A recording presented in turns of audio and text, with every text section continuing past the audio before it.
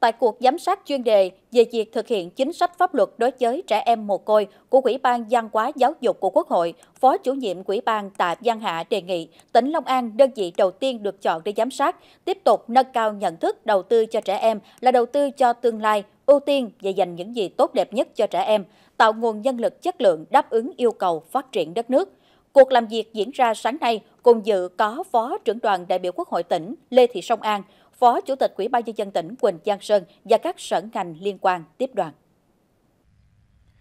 Toàn tỉnh hiện có hơn 365.100 trẻ em dưới 16 tuổi, chiếm 18% tổng dân số, trong đó hơn 2.700 trẻ em có hoàn cảnh đặc biệt và gần 1.500 trẻ mồ côi. Nhìn chung, trẻ mồ côi được bảo vệ, chăm sóc, hỗ trợ kịp thời, được hưởng chính sách trợ cấp xã hội, cấp thẻ bảo hiểm y tế, miễn giảm hoặc hỗ trợ chi phí học tập, Tuy nhiên, vẫn còn một số trẻ mồ côi gia đình khó khăn, không đủ điều kiện để phát triển toàn diện, nhất là ở vùng nông thôn biên giới. Tại buổi làm việc, thành viên đoàn giám sát và các sở ngành tỉnh trao đổi, làm rõ thêm về công tác chăm sóc bảo vệ quyền trẻ em, vấn đề nuôi con nuôi, hộ tịch cho trẻ di dân. Qua đây, tỉnh cũng kiến nghị Bộ Lao động Thương binh và Xã hội xem xét tham mưu chính phủ nâng mức trợ cấp xã hội hàng tháng cho trẻ em mồ côi, bổ sung trường hợp trẻ mồ côi cha hoặc mẹ nhưng bị cha hoặc mẹ bỏ rơi từ nhỏ vào Nghị định số 20 của Chính phủ để các em được hưởng chế độ bảo trợ xã hội. Phó chủ nhiệm Ủy ban văn hóa giáo dục của Quốc hội tại Giang Hạ trưởng đoàn giám sát tiếp thu đề xuất của tỉnh, đồng thời đề nghị tỉnh rà soát,